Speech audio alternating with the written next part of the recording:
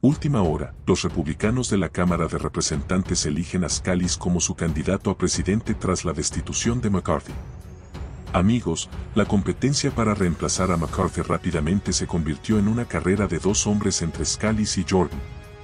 Los republicanos de la Cámara de Representantes eligieron al líder de la mayoría Steve Scalise, republicano por Luisiana, como su candidato a presidente después de reunirse a puerta cerrada durante más de dos horas el miércoles los legisladores republicanos votaron mediante votación secreta. Scalise obtuvo 113 votos, mientras que el presidente del Comité Judicial, Jim Jordan, obtuvo 99. Los republicanos de la Cámara votaron minutos antes para presentar una moción para elevar el umbral para elegir un presidente a 217, una mayoría de la conferencia. Se produce después de que el expresidente Kevin McCarthy, republicano por California, fuera derrocado en una votación de ocho miembros de su propio partido y todos los demócratas de la Cámara de Representantes la semana pasada.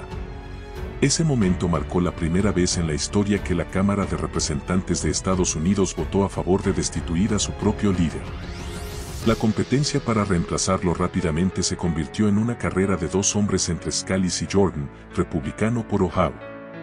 Scalise ha sido el número dos de McCarthy durante mucho tiempo, a pesar de una rivalidad de años entre los dos.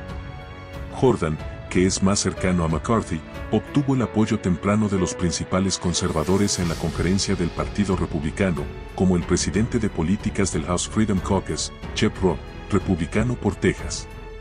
El propio Jordan es uno de los cofundadores originales del grupo. Y tú dime, ¿qué parece esta elección? Dios los bendiga siempre.